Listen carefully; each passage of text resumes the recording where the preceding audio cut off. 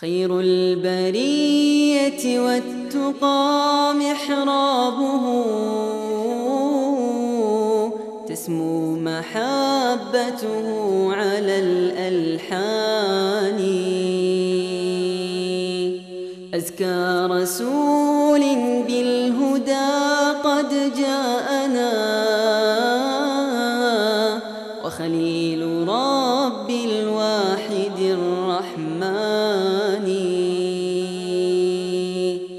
صلى عليه الرب في عليائه إذ زانه بالصدق والإيمان والله أعلى شأنه في آيه ولدينه يعلو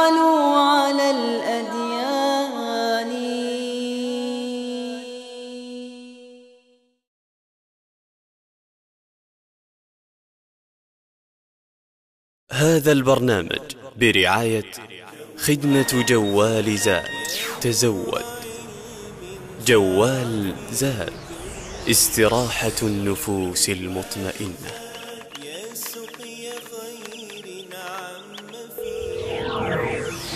جوال زادها.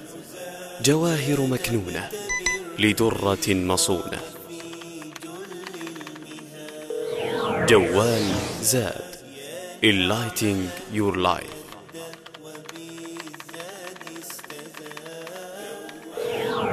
زاد طالب العلم يأتيك بفرائد الفوائد. والآن خدمة جديدة قناة زاد الصوتية. تصلك يوميا طائفة من الأحكام والفوائد والشذرات والفرائد بصوت الشيخ محمد صالح المنجد. للاشتراك ارسل خمسة إلى الرقم ثمانين ستمائة لمشتركي الجوال وستة ثمانية ستة ثمانية لمشتركي موبايلي.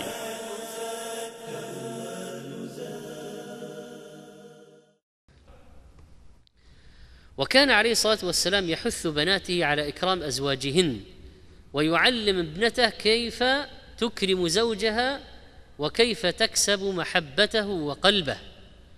فعن أبي هريرة قال دخلت على رقية بنت رسول الله صلى الله عليه وسلم وفي يدها مشط. فقالت خرج رسول الله صلى الله عليه وسلم من عندي انفا فرجلت رأسه. فقال كيف تجدين أبا عبد الله؟ يعني عثمان.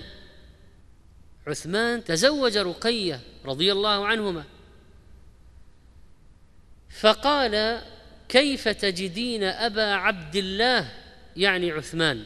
قلت كخير الرجال. قال أكرميه فإنه من أشبه اصحابي بي خلقا.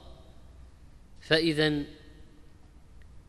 قال أبو هريرة رضي الله عنه ينقل عن كلام رقي عن أبيها وهو محمد صلى الله عليه وسلم. يوصيها بزوجها عثمان. أكرميه. فإنه من أشبه اصحابي بي خلقا ومعلوم أن النبي عليه الصلاة والسلام كان أشد حياء من العذراء في خدرها وكان عثمان حييا لا يكاد يظهر شيء من جسده.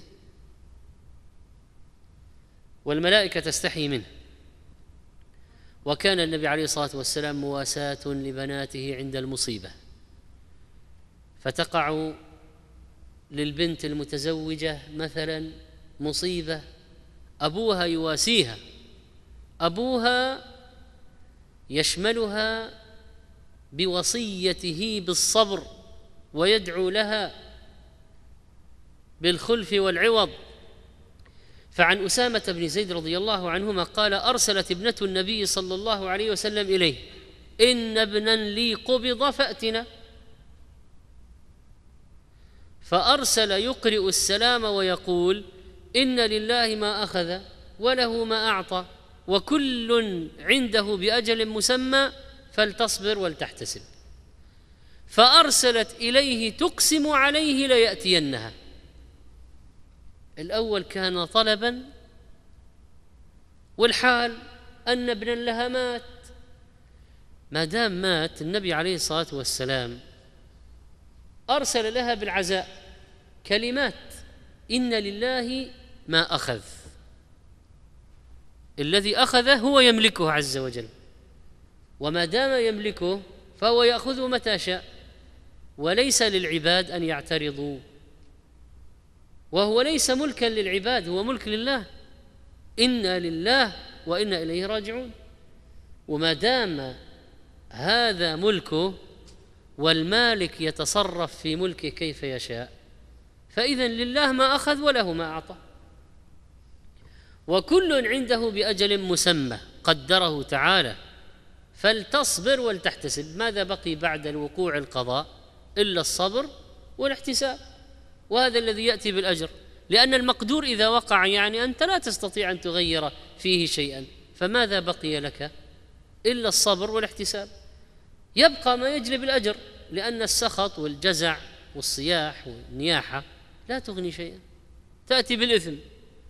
لكن بقي الآن بعد وقوع المصيبة التسليم والرضا واحتساب الأجر عند الله والصبر على المصيبة. فأرسلت إليه تقسم عليه ليأتينها. لما وصلت المسألة إلى القسم والنبي عليه الصلاة والسلام كان يبر المقسم وأوصى أصحابه بإبرار المقسم تعظيما لله ورعاية لاسمه عز وجل. الذي يقسم به الناس فلما أقسمت عليه ليأتينها قام ومعه سعد بن عبادة ومعاذ بن جبل وأبي بن كعب وزيد بن ثابت ورجال كان مشغولا معهم. ولذلك ما اتى في المرة الأولى ليس رغبة عنها لكن كان مشغولا. لكن لما أقسمت عليه قام وقام من معه. من هؤلاء الكبار من الصحابة. فرفع إلى رسول الله صلى الله عليه وسلم الصبي ونفسه تتقعقع كأنها شن ففاضت عيناه. اتضح الآن أن الصبي لم تفارق روحه جسده تماما لكن يحتضر. ولذلك قال ونفسه تتقعقع كأنها شن تضطرب في جسده وهذه حالها عند خروجها من الجسد. فالنبي عليه الصلاة والسلام أمام هذا المنظر وقد جعل الله في قلبه من الرحمة ما جعل لم يملك دمعة فأرسل عينيه فاضت عيناه بالدموع. فقال سعد يا رسول الله ما هذا؟ لعل سعدا ظن أن النبي عليه الصلاة والسلام لا ليس من مقامه هذا. فاستغرب. قال النبي عليه الصلاة والسلام مجيبا له هذه رحمة جعلها الله في قلوب عباده. إنما يرحم الله من عباده الرحماء. متفق عليه. اذا النبي عليه الصلاة والسلام لما سمع صوت الروح والحشرجة كصوت الماء إذا ألقي في القربة البالية. كيف الماء إذا صب في القربة البالية؟ كيف يكون صوته؟ وهي تتشربه وتحتويه. ففاضت عيناه وبكى عليه الصلاة والسلام بالدموع بدمع العين. ولعل سعد رضي الله عنه كان يظن أن جميع أنواع البكاء محرم.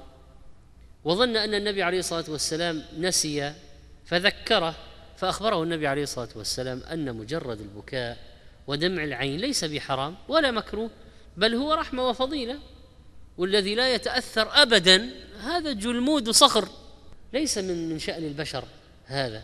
حتى البشر الكمل مثل هذا المنظر يؤثر فيهم وهذا صبي صغير والنفس مجبولة على الرحمة بالصغار.